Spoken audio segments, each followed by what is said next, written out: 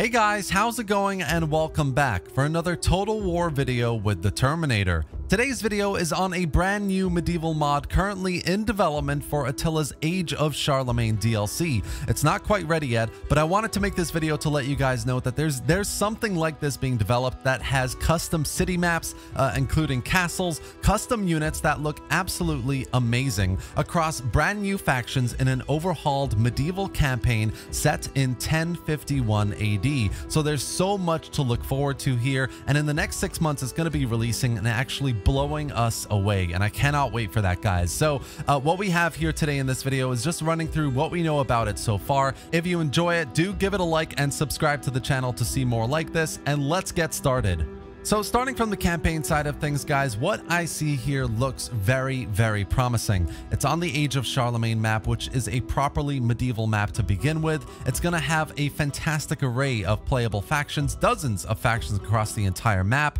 It's going to have unique technology trees that are custom made by the modders as well, including faction leaders and faction characters that are unique, historically accurate, and buildings, building trees, building icons that are completely custom made, and unit cards, guys. Brand new unit cards that look absolutely amazing. Very medieval looking, and they, they look really good too. I mean, as far as unit cards go, they're very, very impressive. Uh, we're going to get loading screens that are custom made as well, obviously. Everything here is going to be immersive, engaging, properly medieval looking, and from what we what we can see here, anyway, it looks like a very, very good start in, in the mod's development.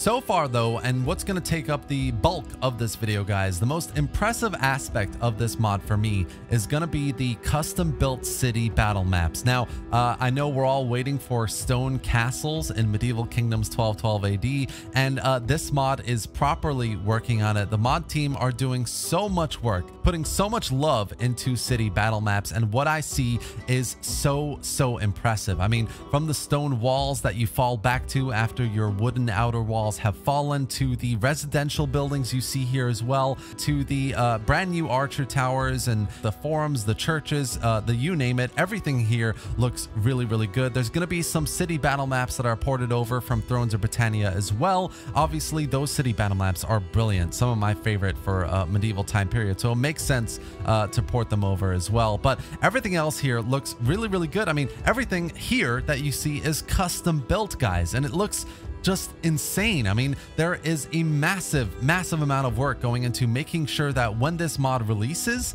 at least some of the cities that you fight in uh, on the campaign are like this. They are custom built, medieval. Uh, you know, you have to defend your outer walls as much as you can. You can fall back to your more stone-based buildings and avenues and, and walls in the inner side of the city as well, which looks really, really good. I mean, for me, this is going to add so much immersion and authenticity to a medieval mod like Anno Domini 1051. And the fact that they're working on this and making this a priority is really, really, really good.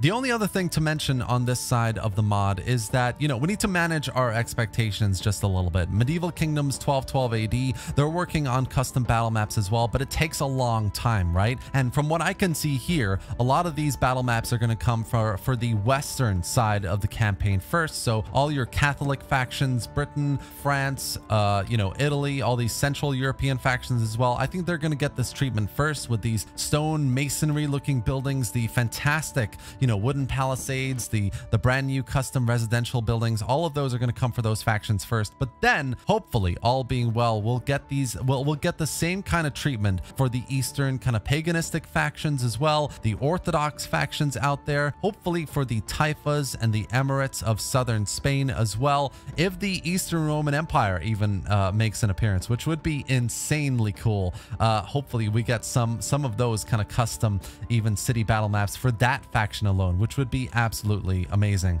Um, but yeah, that's the point here. I think there's a lot of really, really good work being done here. You know, these custom city battle maps, the layouts, the walls, everything is incredibly engaging, incredibly immersive for a brand new medieval mod. It's only just started in development as well. This is only like six months to a year's work in terms of custom city battle maps. But, but from what I can see, it's an amazing piece of work so far. It's going to blow us away. So um, that's what I wanted to say here. Uh, we have to manage manage our expectations, but from what I can tell, it's going to be an amazing mod when it releases.